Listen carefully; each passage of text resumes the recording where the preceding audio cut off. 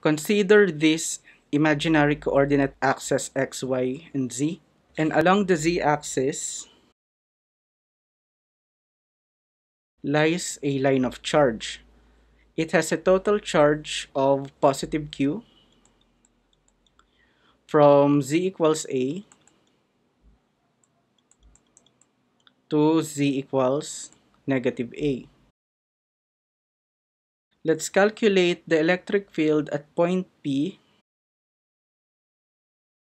on the y-axis. Apparently, this point P is situated a distance y from the origin. Recall that the linear charge density lambda is equal to infinitesimal charge dq divided by infinitesimal length dl. In this discussion, we assume that the line charge density is uniform all throughout the distribution. So in totality, lambda is also equal to capital Q, the total charge divided by the total length, which in our case is equal to 2a. To use our integral equation 2.3, we need to come up with an integration variable that can be evaluated to consider all the contributions of the infinitesimal element of the charge distribution. To do this, we divide the line of charge into infinitesimal element d sub z. For example, this one, d sub z, which is a distance z from the origin and a distance r from point P. Its electric field on point P is dE, which is at an angle theta below the y-axis. Based on the figure, the distance r from d sub z to point P is equal to square root of side of the triangle which is y and this other side of the triangle which is z. So r is equal to square root of y squared plus z squared. Now again, if this is theta, the angle of d sub e with respect to y-axis, then obviously this is also theta.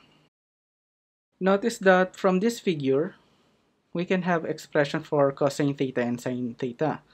So from the figure, cosine theta is equal to adjacent which is y divided by hypotenuse which is r. So this is y squared plus z squared squared. Similarly, sine theta based on the figure is equal to z over square root of y squared plus z squared. Let's directly write the equation for this vector dE by starting with the general equation 2.2 that we have derived from previous video.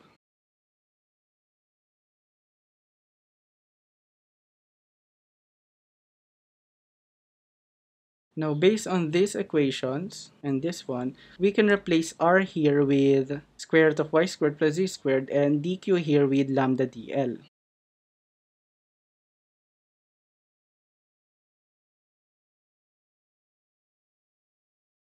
But lambda here is also equal to q over 2a. So we can replace this lambda here with q over 2a.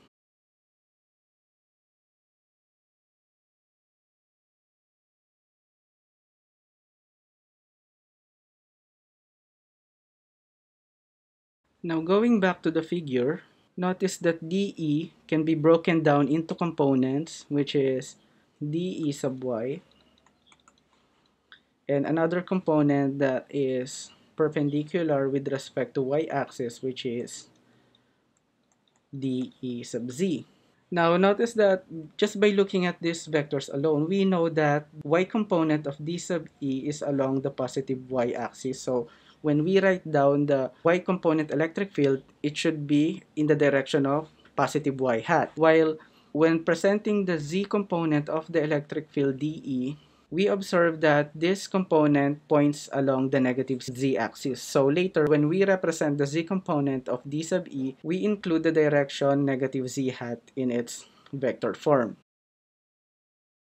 When we write the vector form of dE, it will have a component along the y-axis which is d sub e sub y times y hat and another component that is along the z-axis. which from our figure above, the direction is along the negative z hat. We already have an expression for dE, this one. And to get dE sub y and dE sub z, notice that dE sub y is just dE cosine theta and dE sub z is just dE sine theta. So let me rewrite it here.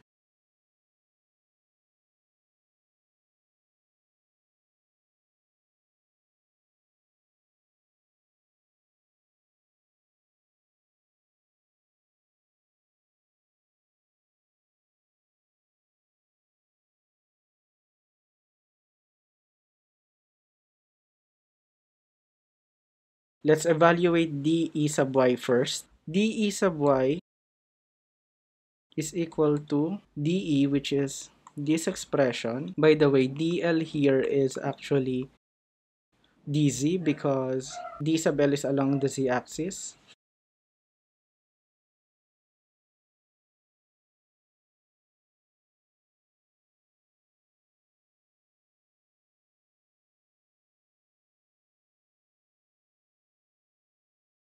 We multiply dE with this expression. So in this equation, z is the integration variable while y is constant here.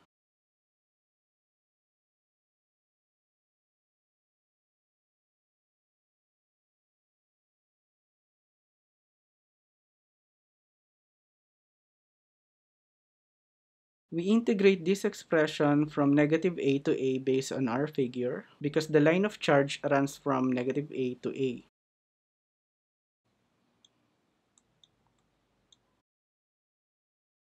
Notice that this integral here is in the form of integral of du divided by u squared plus a squared raised to 3 halves. This is actually equal to u divided by positive minus a squared square root of u squared plus a squared plus a constant which can be 0 or not. Now I've shown the solution of this equation in a separate video. The link is in the description box below. Let's now solve the y component of the electric field.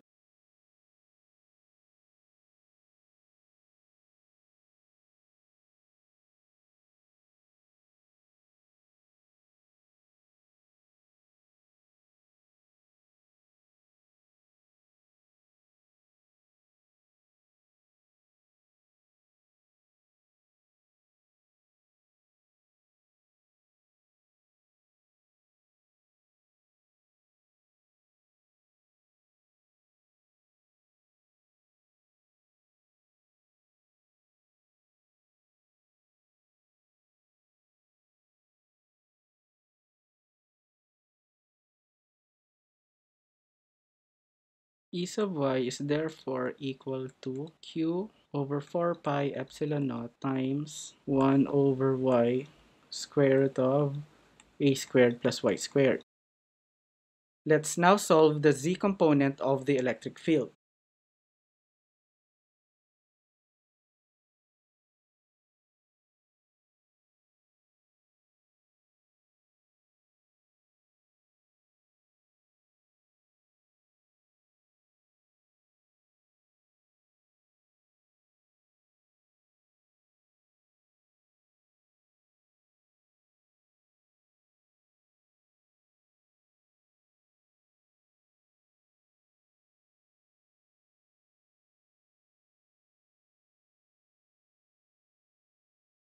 The variable of integration here is z, so we could actually take out all the constants out of the integral sign.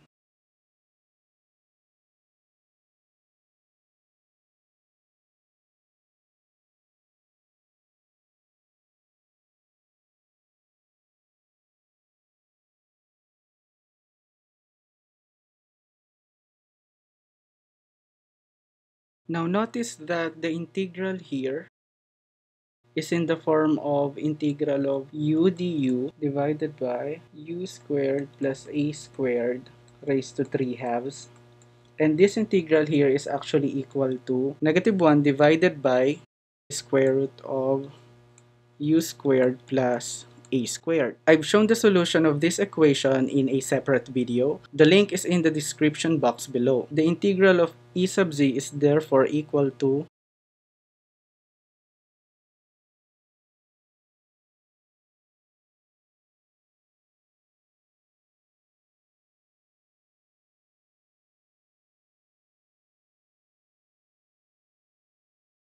By the way, the integral above is evaluated from negative a to positive a based on our figure. So this is evaluated from negative a to a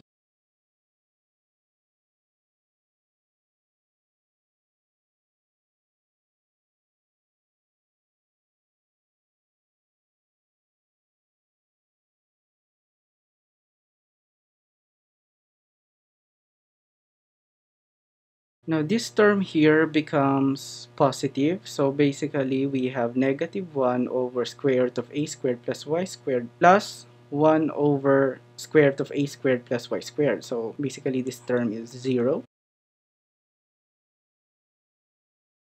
Now if we return to our figure, notice that due to symmetry, we can have another infinitesimal element here that can project an electric field at point P which produces another opposite dE sub z component which cancels out the z component that is directed downwards. Again, due to symmetry, the dE sub z components at point P cancel out. Let me now write the electric field at point P.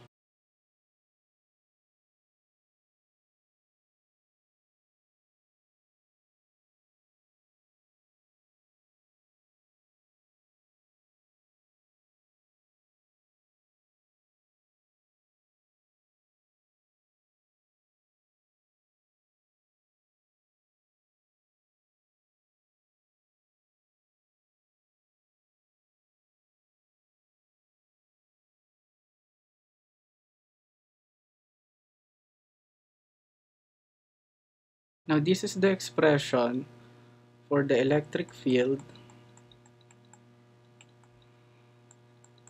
produced by a line segment. Now, we would like to know what happens if we have an infinite line of charge. So, returning to our figure, imagine this line of charge is not confined to z equals a and z equals negative a. In other words, the length of this line of charge extends from positive infinity to negative infinity. So, let's rewrite this equation here on another page.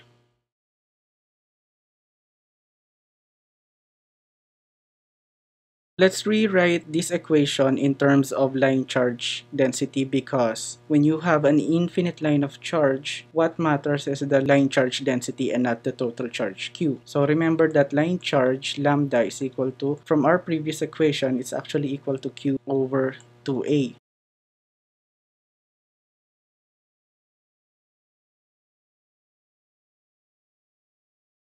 This time, I'll multiply this equation with 1. So 1 over a divided by 1 over a is 1. So I'm doing this to get rid of the variable a because it's actually meaningless. Because 2a is the length of line segment we are considering but this time since we are extending the line of charge from positive infinity to negative infinity then we would like to have an expression that doesn't contain the variable a. Remember that from our previous discussion 2a is the length of the line segment but since we are considering an infinite line of charge we will be replacing a later with a value of infinity and there we will use L'Hopital's rule and see the result when we plug infinity to a.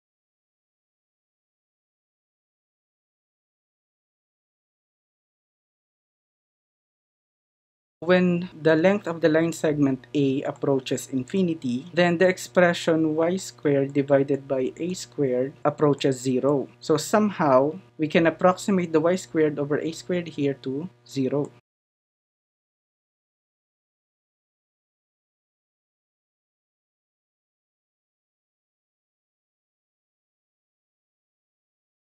Now let me redraw our figure here. So we have an infinite wire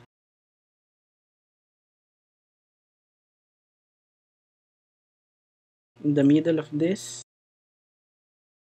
wire is the y-axis, and this is point P that sits on the y-axis. The distance of point P to the origin is y, and consider this as the general distance of point P to the source charge, eh, which is r. So we consider y here as an r because from our previous discussion, r represents the measurement point towards the source charge, which in our case, the source charge is the infinite wire. So I can rewrite our electric field as